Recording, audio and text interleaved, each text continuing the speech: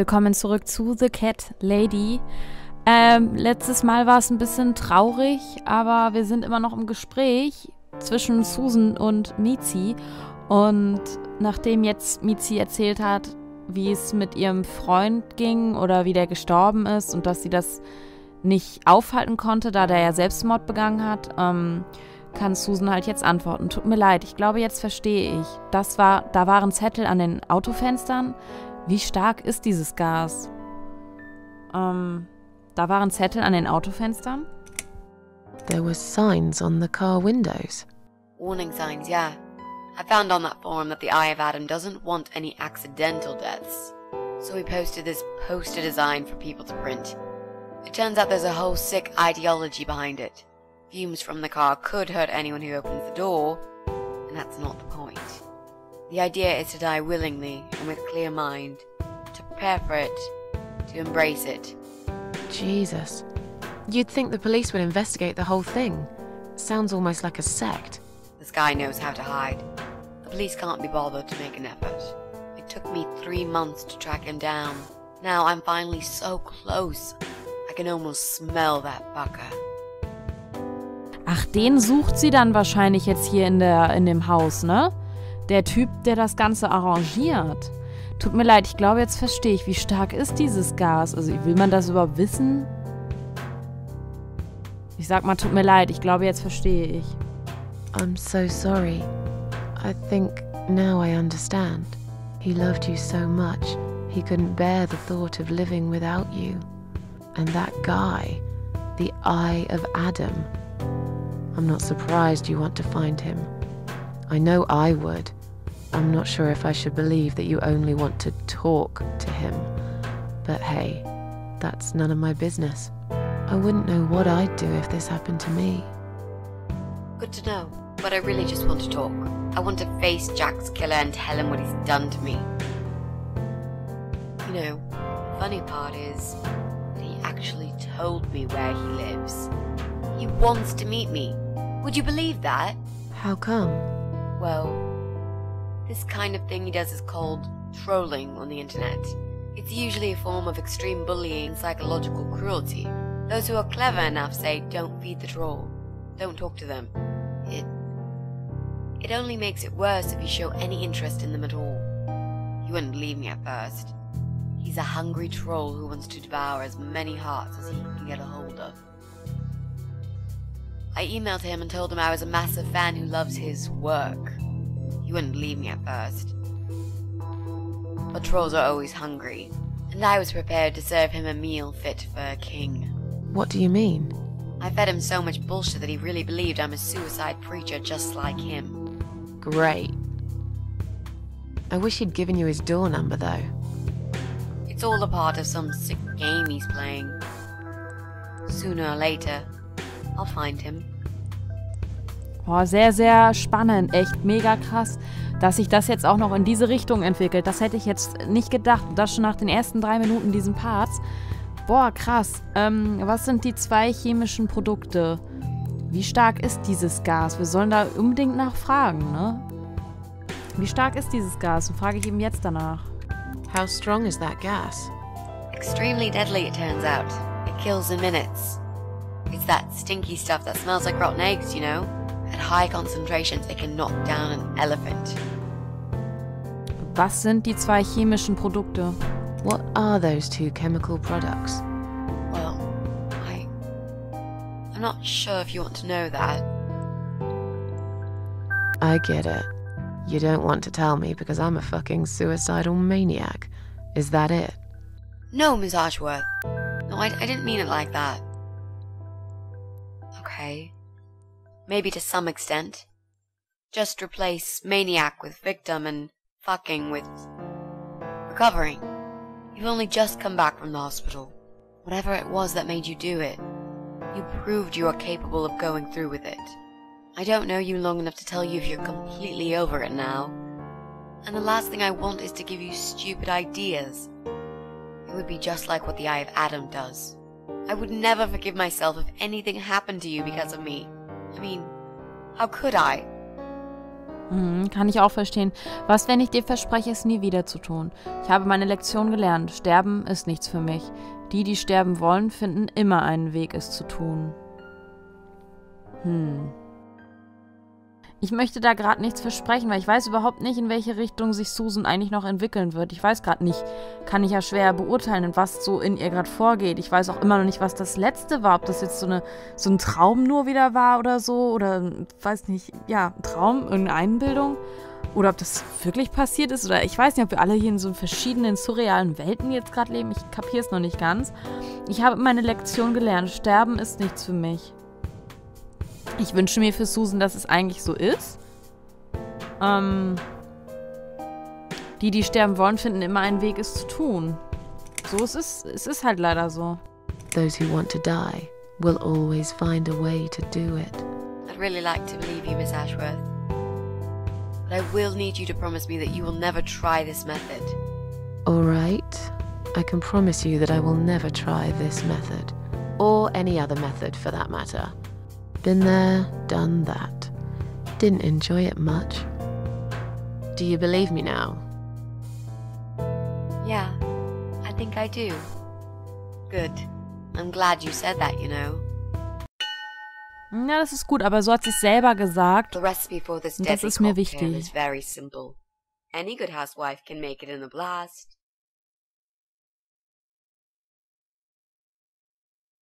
Warum sind wir jetzt wieder hier? Warum sind wir jetzt wieder an diesem Ort? Wie kann das denn sein?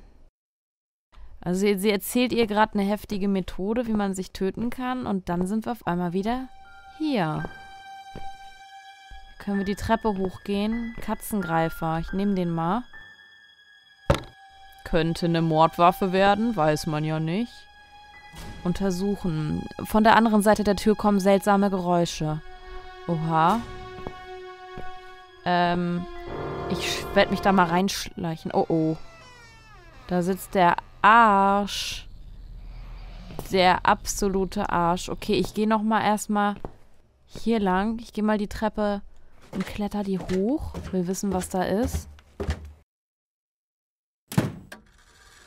Da ist eine Kellertür.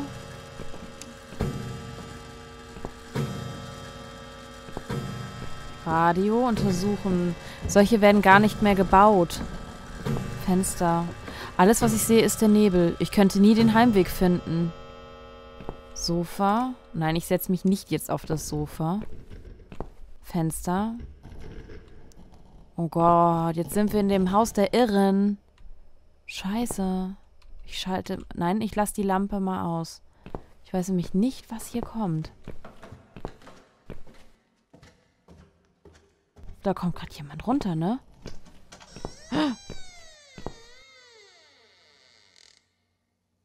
Kommt da gerade jemand runter?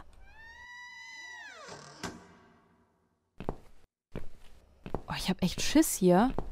Mach mal die Lampe ein. Nichts passiert, braucht eine neue Glühbirne. Ich sollte mich nach einer umsehen.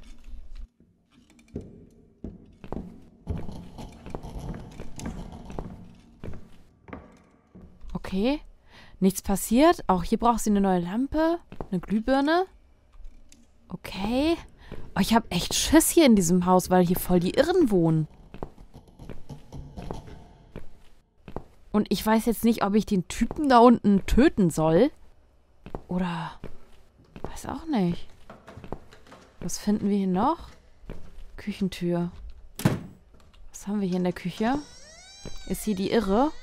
Leere Weinflaschen, sie trinken gerne mal etwas. Es gibt nichts Besseres als ein schöner Rotwein mit einem medium gebratenen Katzensteak. Ja. Hier kocht sie. Dreckige Pfannen stinken immer noch nach altem Katzeneintopf. Boah, ist das abartig. Oh, ich kann ein Messer nehmen. Nimm bloß das Messer bitte mit, ja? Schleimig. Ich glaube nicht, dass sie oft abwäscht. Es ist so eklig hier. Ich öffne mal den Kühlschrank. Die Tür klemmt, das ist vielleicht auch besser. Ich weiß nicht, was ich, ob ich wissen will, was drin ist. Nee, das glaube ich. Wo ist sie? Ist sie nicht hier nebenan? Ich habe echt ein bisschen Angst hier.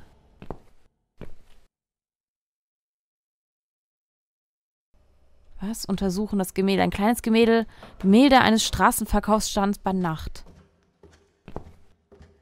Versteck dich. Und oh ja, ich muss mich momentan nicht verstecken. Oh Gott, wir können uns hier verstecken. Wir können uns da verstecken.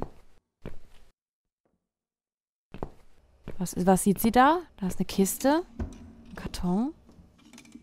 Well, well. Boxes full of bleach. I suppose I deserve a bottle. I've worked hard for it. Oh oh. Wie merkwürdig, This oder? reminds me of something. Wie kann das sein, dass wir jetzt wieder hier sind? First thing you need is a strong toilet bleach. You know the kind. Not just a regular bleach, but one that makes your eyes all watery and skin itchy.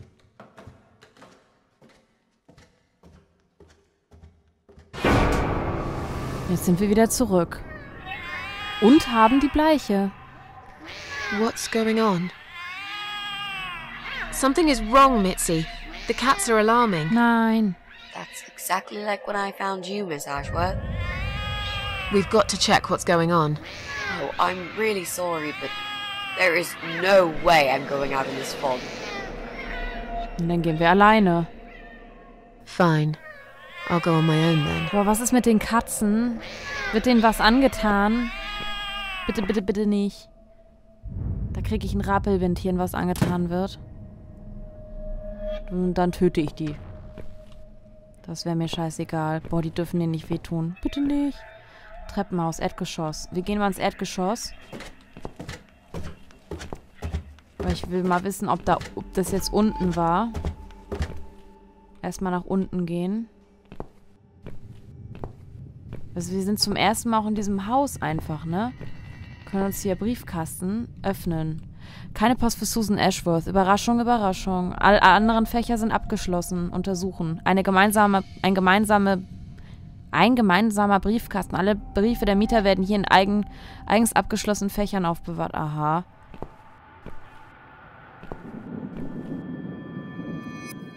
Jetzt sind wir mal draußen. Ich will jetzt mal wissen, ob hier was ist. Können wir gehen? Sie dreht sich irgendwie selber gerade, glaube ich. Oder? Oder? Nee, ich mach das, aber... Aber sie kann irgendwie nicht gehen. Können wir gehen?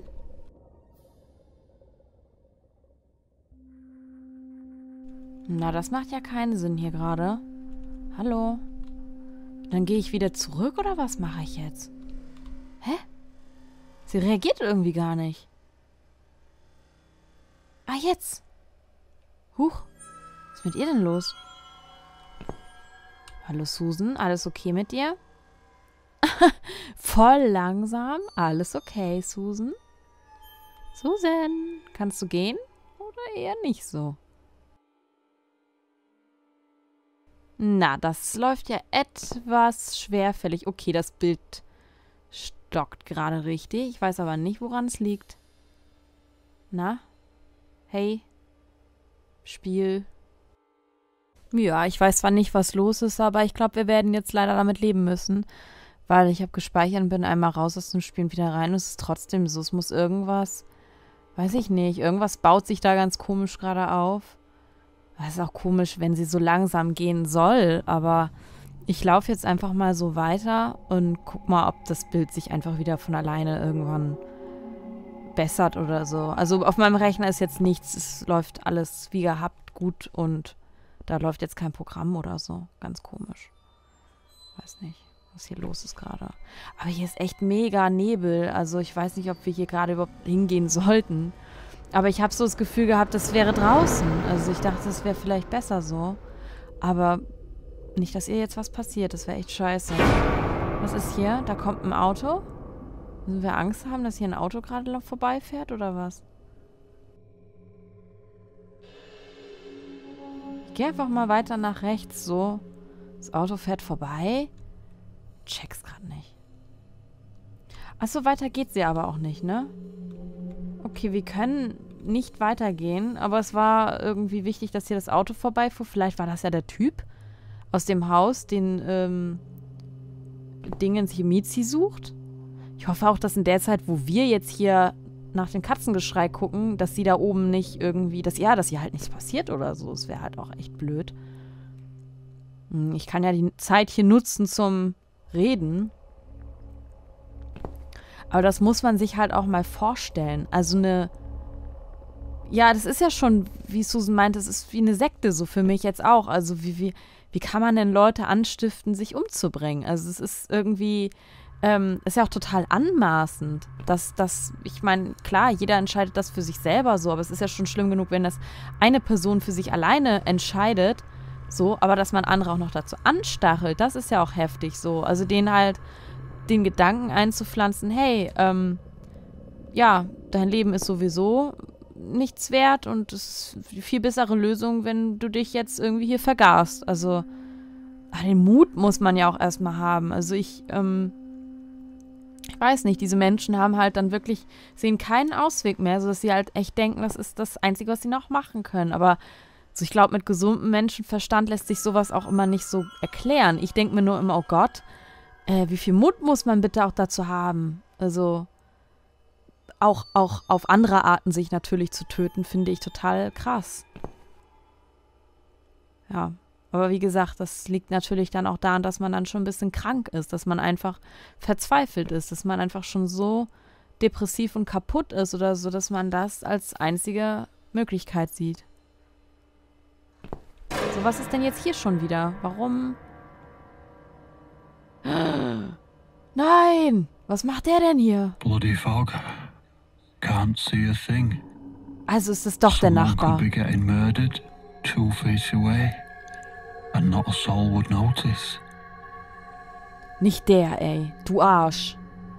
Du Arsch, Arsch, Arsch, Arsch, Arsch. Boah, scheiße. Und wir haben aber auch diese ganzen Sachen in unserem Inventar sind gar nicht mehr da. Was mache ich denn jetzt mit dem Typen? Reden die jetzt noch? Bewegen die sich noch? Ich kann gerade irgendwie nichts machen. Hallo? Ich hab echt. Ich kann, wenn ich diesen Kerl sehe und höre, ey. Kriege ich Aggression. So, was ist hier jetzt, Susan?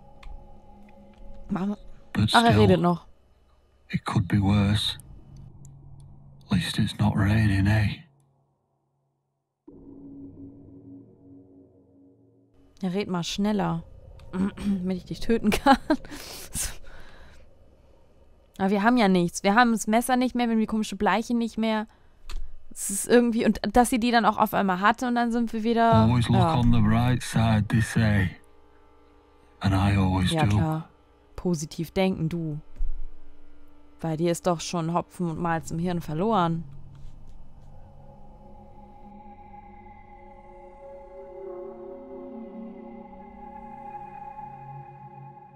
Ja, wir warten dann mal ein paar Stunden, bis du weiterredest, du Bastard. Ja, erzähl mir noch einen, komm. Not a talkative type, are you? What's your name, sweetheart? Äh, das geht sie nichts an. Don't be such a scaredy cat, sweetheart. You're Susan, aren't you? Nee, bin ich nicht. A kind man had described to me Mhm.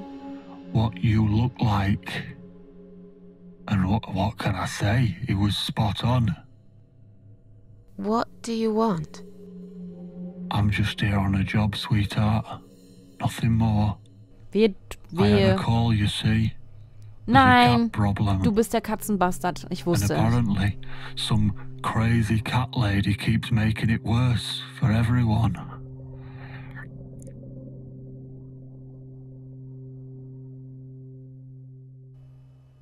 Also hat der Nachbar angerufen und jetzt kommt der. Die Frage ist nur, ja, ist das, also wenn das alles nur in ihrem Kopf passiert ist, dieses, was der Typ gemacht A hat, crazy cat lady called Susan. Ja, ja. Ja, ist er dann das wirklich? Also ist er halt wirklich dieser Mörder, dieser Psychopath oder war das nur eine Einbildung und wir tun ihm dann irgendwann unschuldig weh, obwohl er ja gar nichts gemacht hat? So für uns als Zuschauer ist, jetzt, ist das halt jetzt voll der Mistkerl. Die Frage ist nur, ist das alles wirklich passiert? No, you ain't gonna like it, sweetheart. But I'm taking you for a ride.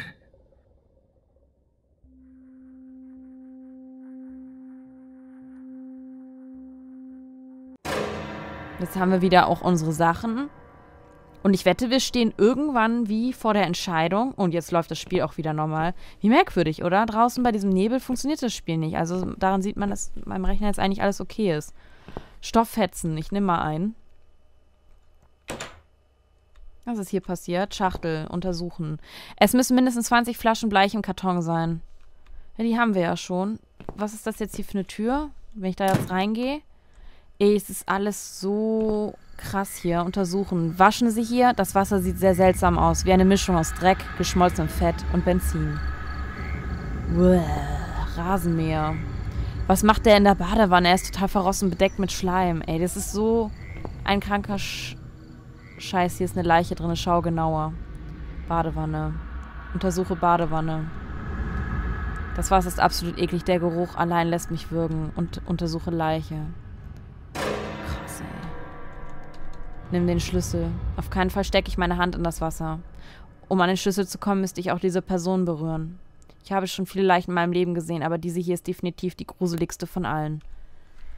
Auf keinen Fall stecke ich meine Hand in das Wasser. Außerdem scheint es, als ob das Stöpsel direkt unter dem Kopf des Toten ist. Okay. Können wir dann was anderes nehmen? Den Katzengreifer zum Beispiel. Ich finde sicher eine bessere Verwendung dafür. Ach ja? Damit haben sie Katzen gejagt. Ich dachte, diesen Greifer wären schon lange verboten. Ja, ich hasse sowas. Ey, das ist so gemein. Was kann ich denn dann nehmen? Den Stoffhetzen? Hm. Die Bleiche? Das wäre ja auch komisch. Gießen? Nein, nicht hier, nee. Ähm, was kann man denn da mal machen? Also den nicht? Ja, weil der war ja so zum Greifen praktisch gewesen für den Schlüssel, oder? Was? Hütte oder Hüte? Untersuche. Ein Gartenhaus. Mir gefällt gar nicht, wie es aussieht. Hüte. Ah, schon Hüte. Hütte. Spähe hinein. Oh nein. Oh Gott. Bleib und beobachte. Schau dich im Raum um. Stapelweise Fleisch. Könnte es auch menschlich sein? Ich könnte wahrscheinlich etwas Nützliches auf den Regalen finden, aber sie muss erst weggehen. Bleib und beobachte. Okay, wir gehen mal weg. Ich habe ein bisschen Angst hier. Ähm, ich werde hier auch noch mal erstmal weggehen. Äh, wenigstens wissen wir jetzt, wo sie ist. Ne? Die bearbeitet da das lecker Fleisch. Und von daher... Oh, ich denke immer, ich muss mich verstecken. Ich höre immer die Geräusche und denke, ach du Scheiße. Soll ich jetzt das Bild nehmen? Was mache ich denn damit? Muss ich das vielleicht aber auch wieder ranhängen? Hier kann ich nichts mitnehmen. Nee, ich soll das anscheinend mitnehmen. Okay. Weiß zwar nicht warum. Aber okay. Es ist so gruselig.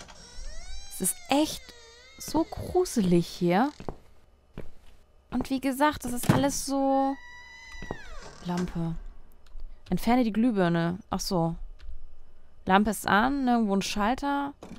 Ah, vielleicht finden wir ja noch eine andere. Öffne die Uhr. Ja, als ob da jetzt ein Geheimgang drin versteckt wäre. Das kann gerne jemand anderes entdecken. Ich habe schon genug Probleme. Okay, untersuche. Eine alte Standuhr. Sieht aus, als ob sie noch funktioniert. Okay, und dann können wir wieder rausgehen. Aha. Okay. Was ist, wenn du jetzt die Treppe hochgehst? Weil ich wusste jetzt immer nicht. Da oben sind nur Schlafzimmer. Ich sollte lieber erstmal im Erdgeschoss bleiben. Ach so. Deswegen, ich wusste ja nicht, ob die da oben ist. Und die Birnen sind einfach zu heiß. Warum kann sie die dann nicht... Ach, vielleicht sind dafür die, die Schalter aber da. Komm, wir gehen nochmal in den Keller und dann benutzen wir vielleicht nochmal die Schalter oder so. Vielleicht sind die dafür da, um die äh, Birnen oben an- und auszuschalten. Dann können wir die Glühbirnen rausnehmen. Ja, das werde ich mal im nächsten Part versuchen in diesem gruseligen Horrorhaus. Und äh, vielen Dank fürs Zuschauen und bis dann.